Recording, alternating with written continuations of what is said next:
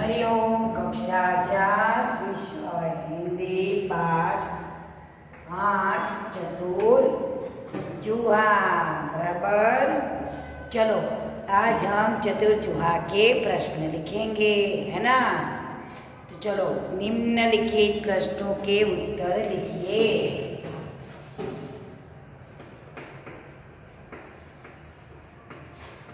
निम्नलिखित प्रश्नों के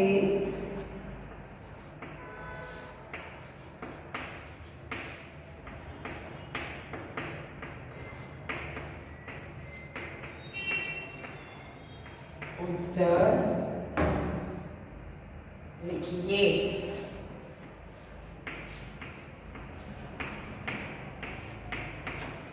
चलो तो सबसे पहला प्रश्न है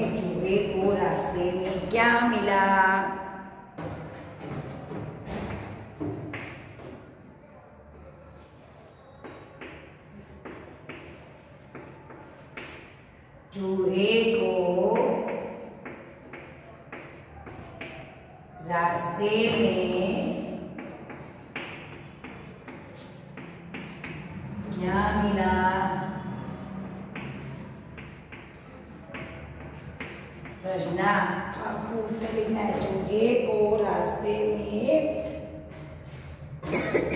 कपड़े का टुकड़ा मिला। क्या लिखेंगे उत्तर? पूरा वाक्य में, जब भी आप वर्कशीट में लिखो या कहीं भी लिखो नोट में लिखो, लेकिन हमेशा उत्तर पूरा वाक्य मतलब पूरे वाक्य में मतलब पूरे वाक्य में कैसे? कि चूहे को रास्ते में क्या मिला? तो चूहे को रास्ते में कपड़े का टुकड़ा मिला। कैसे उसको पूरे वाक्य में बोलते हैं? क्या बोलते हैं? पूरे वाक्य में। समझ में आया?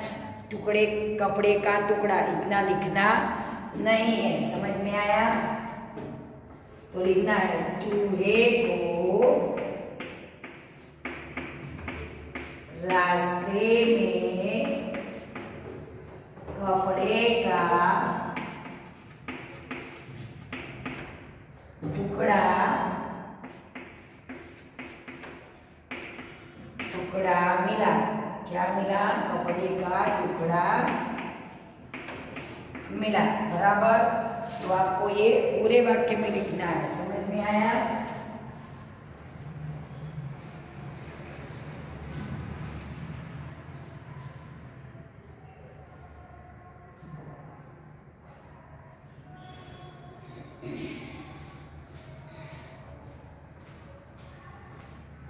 चलो, दूसरा प्रश्न है, चूहा कपड़ा लेकर किसके पास गया? तो आपको लिखना है, चूहा चूहा कपड़ा लेकर किसके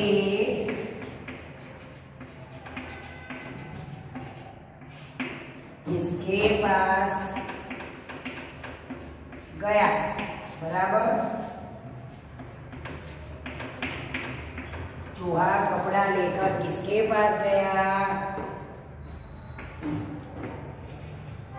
तो चूहा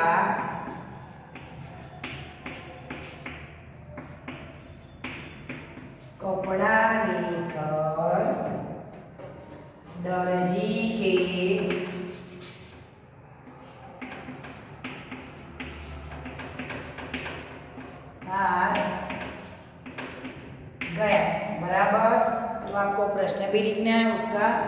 उत्तर भी और पूरे वाक्य में, दर्जी ने चूहे से क्या कहा?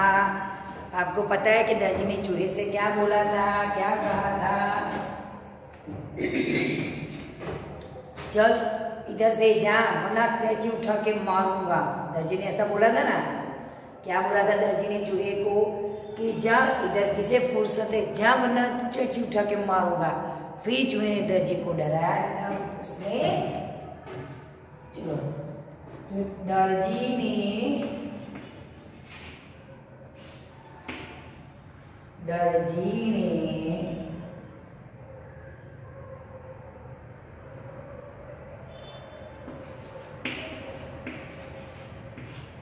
चलो चूहे से क्या कहा बराबर तो दर्जी ने चूहे से कहा कि उठाकर मारूँगा।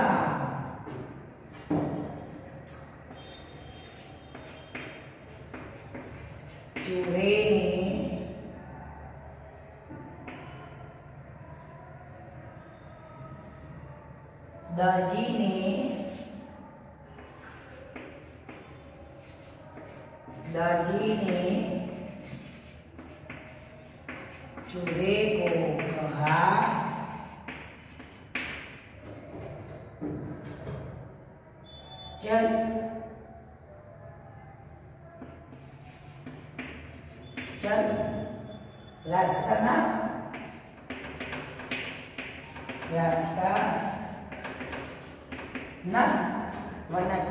उठाकर मारूँगा। वरना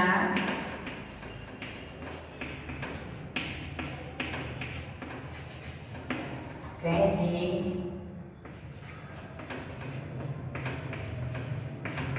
उठाकर मारूँगा।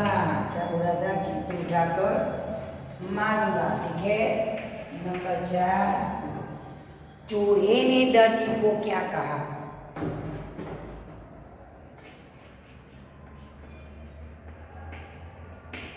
चूहे ने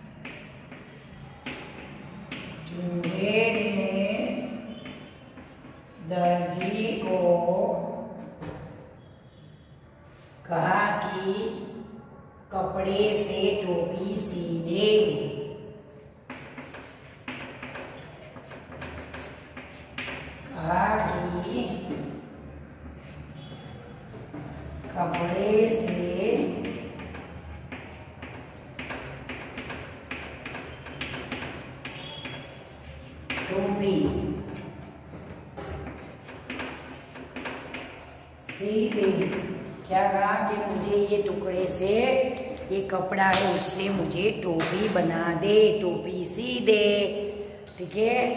तो ये प्रश्न पढ़ लो एक बार। चूहे को रास्ते में क्या मिला? तो चूहे को रास्ते में कपड़े का टुकड़ा मिला। ध्यान रखना, कपड़ा मिला वैसे नहीं, कपड़े का टुकड़ा।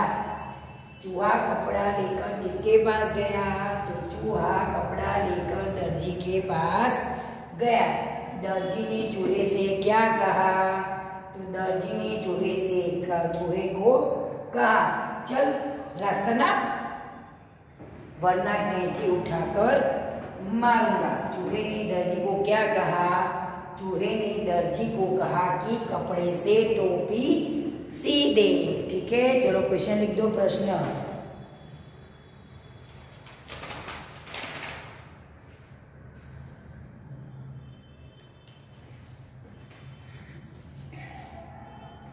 બરાબર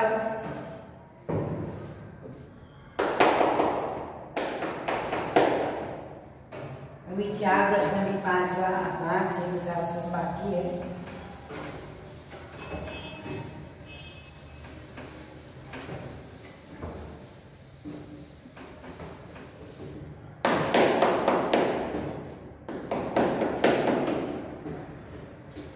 चलो चूहे ने किसे बुलाने की धमकी दी? प्रश्न पाँच।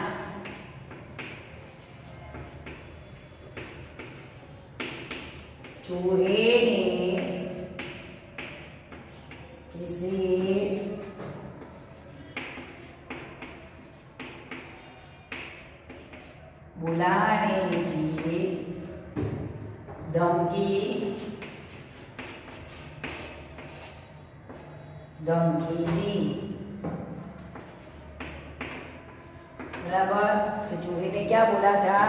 कि मेरी टोपी सीधे, वरना मैं सिपाही को बुलाऊँगा, कचहरी में जाऊँगा।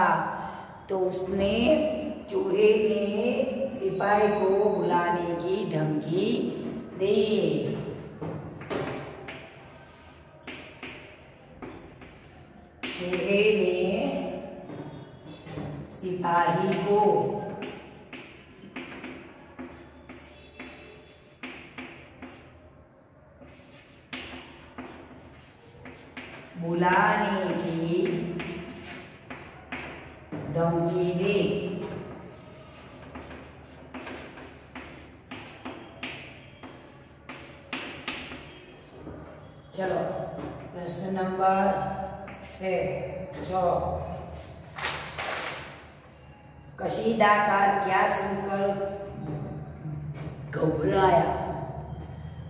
कशीदाकार क्या सुनकर घबराया? चलो।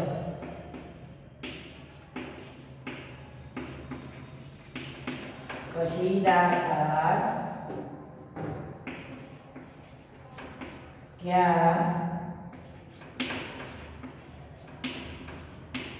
सुनकर घबराया। क्या सुनकर घबराया वो?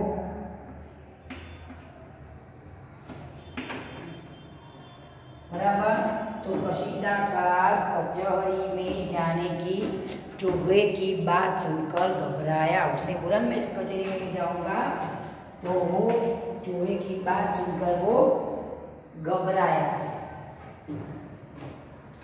तो कशीदाकार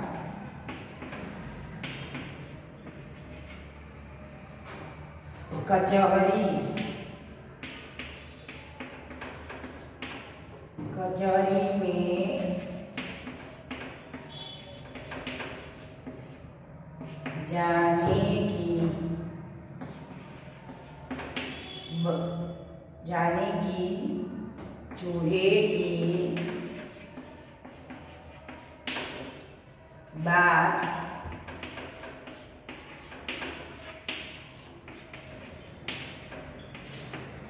सुनकर घबराया। बराबर तो कशीदाकार चूहे की कचहरी में जाने की बात से घबराया। कशीदाकार क्या करता है?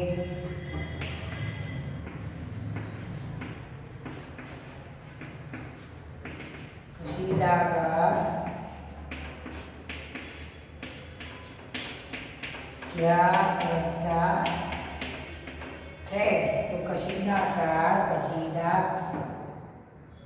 करता है। कशीदा मतलब सिलाई, हाथ सिलाई डिज़ाइन कशीदा मतलब भरत डिज़ाइन जो बनाते हो। कशीदाकार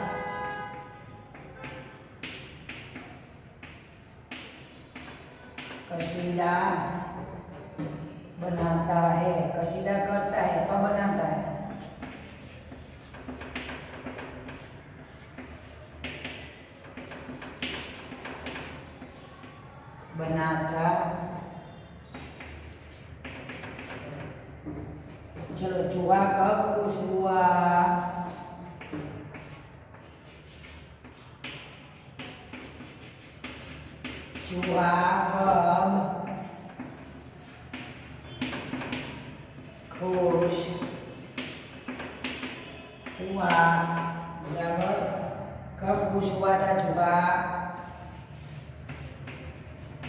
चूहा टोपी पर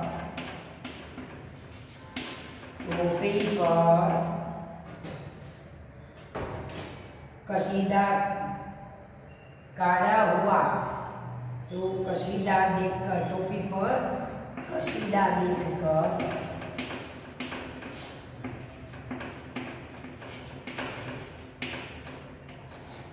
तो चूहा टोपी पर कशीदा देखकर खुश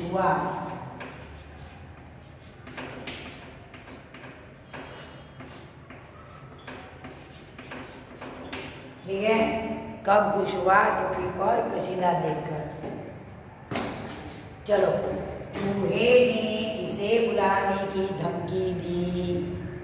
तो चूहे ने सिपाही को बुलाने की धमकी दी, बराबर? कशीदाकार क्या सुनकर घबराया? तो कशीदाकार कचहरी में कचहरी में जाने की, चूहे की बात सुनकर घबराया। कशीदाकार क्या करता है?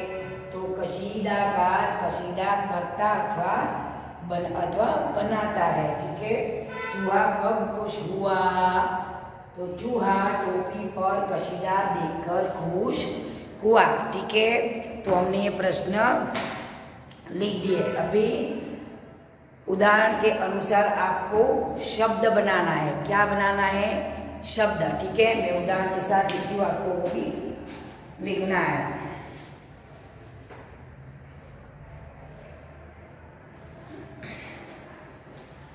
चलो यह प्रश्न भी लिख देना हाँ? अभी जैसे मैं एक उदाहरण लिखती हूँ एग्ज़ाम्पल उसके जैसे हमें दूसरे शब्द बनाने हैं, ठीक है? कशीदे, कशीदा तो उसका होगा कशीदाकार समझ में आया?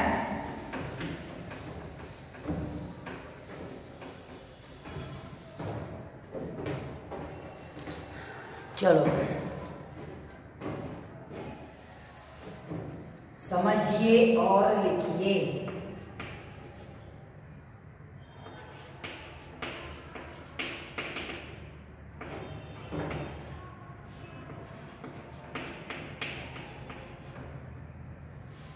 समझिए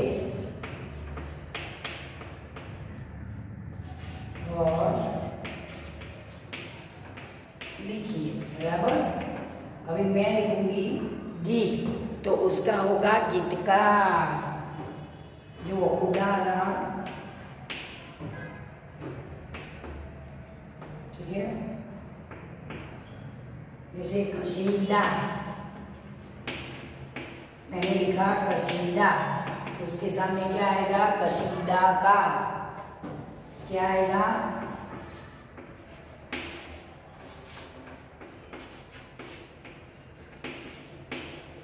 कशीदा ठीक है तो आएगा कशीदा का गीत तो गीतकार। गीत तो आएगा गीतकार। जो गीत बनाते हैं उसको गीतकार बोलते हैं, जो गीत मतलब जो सॉन्ग होता है है ना? उस जो बनाते हैं, उसको गीतकार बोलते हैं, लिखता है, उसमें म्यूज़िक देता है, गीतकार। चलो, शिल्प। शिल्प का मतलब पता है क्या होता है? शिल्प मतलब जो पत्थर की, पत्थर से जो चीज़ें बनाता है, उसको शिल्पकार बोलते हैं। क्या बोलते हैं? शिल्पकार, जो पत्थर होता है, उसको हथौड़ी और चीनी।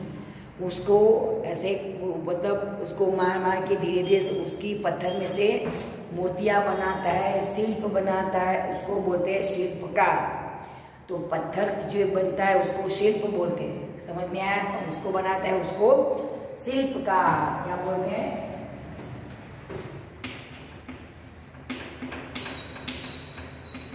शिल्प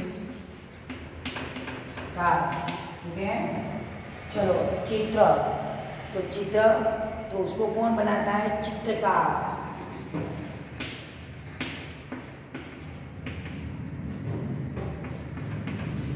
तो इसको हम पेंटर बोलते हैं, हिंदी में उसको चित्रकार बोलते हैं। क्या बोलते हैं? चित्र का ठीक है? अभी बाकी है मूर्ति। तो जो मूर्ति बनाता है, उसको बोलते मूर्ति का शिल्प मतलब पत्थर की चीज़ें बनाने वाला शिल्पकार। अभी वो अकेली मूर्ति बनाता है तो मूर्तिकार। शिल्प तो शिल्पकार, गीत, गीतकार। कशीदा कशीदे का समझ में आया? चलो, मूर्ति। तो मूर्ति पुटिका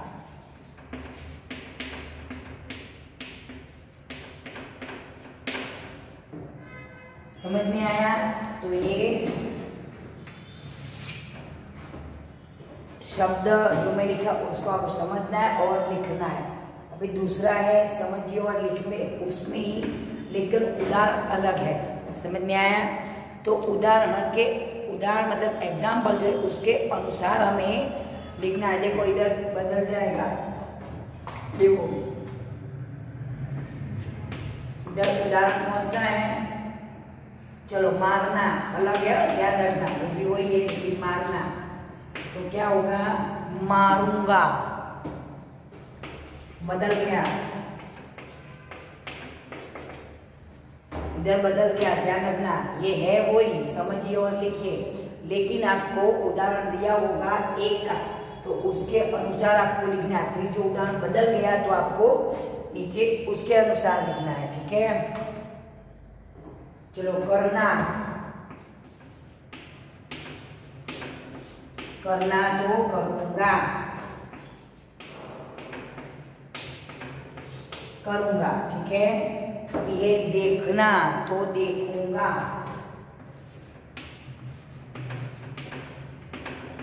देखना तो देखूँगा जाना। जाना तो जाऊँगा।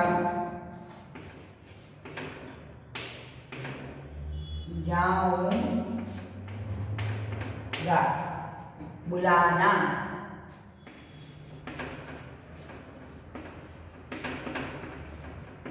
बुलाना तो बुलाऊँगा। बुलाऊँगा बराबर? तो समझिए और लिखिए, ठीक है? हेडिंग एक ही है दोनों का, लेकिन दोनों का उदाहरण अलग अलग है तो आपको उसके अनुसार लिखना रहेगा, ठीक है? तो मैंने आपको प्रश्न लिखवा दिए है, ओके? वाक्य शब्द पर से वाक्य। अभी एक देखो, ये विद्यालय है, ठीक है? इधर हमें क्या दिया है? चित्र। तो हमें चित्र के अंदर देख, चित्र को देखकर उसके वाक्य मतलब विधान बनाने, वाक्य बनाने, ठीक है? तो कैसे वाक्य? तो यह विद्यालय है, बोल सकते हैं, है ना?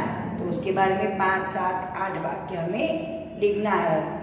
तो विद्यालय कैसा है? विद्यालय में कितने कमरे हैं वो लिख सकते हैं, विद्यालय में बगीचा है वो लिख सकते हैं, आसपास में बच्चे खेल रहे वो लिख सकते हैं, बोल सकते हैं विद्यालय की एक तरफ़ फिसलन पट्टी है, दूसरी तरफ़ झूला है।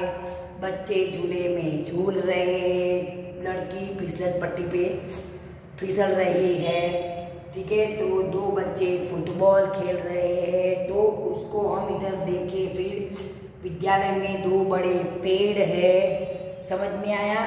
तो इसको हम देखकर पाँच सात वाक्य आराम से बना सकते हैं। उसको देखो, फिर उसके अनुसार वाक्य बनाओ तो हम बना सकते हैं। समझ में आया आपको?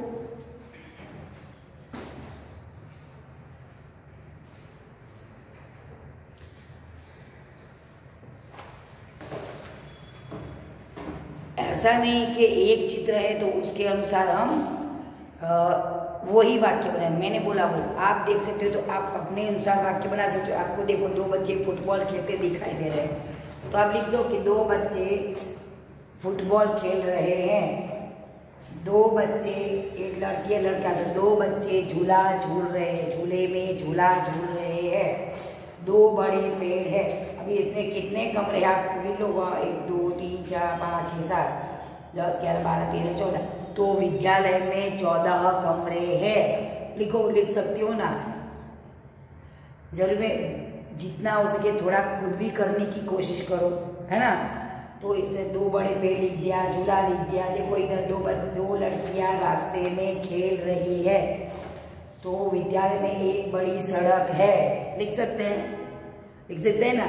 हाँ तो फिर अब तो आप तो फोर्थ के बच्चे हो, ठीक है?